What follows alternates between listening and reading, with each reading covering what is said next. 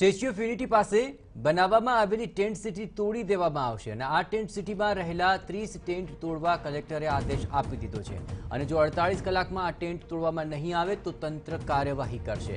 મળતી માહિતી અનુસાર જે જમીન પર ટેન્ટ સિટી બનાવવામાં આવી છે તે ગૌશાળાની જમીન પર બનાવવામાં આવી છે. સ્વામિનારાયણ સંસ્થાએ આ જમીન ગૌશાળા માટે આપી હતી. જોકે ગૌશાળાની જગ્યાએ ટેન્ટ સિટી બનાવવા દેવામાં આવી અને હવે આ મુદ્દે જિલ્લા કલેક્ટર એક્શન મોડમાં આવી ચૂક્યા છે.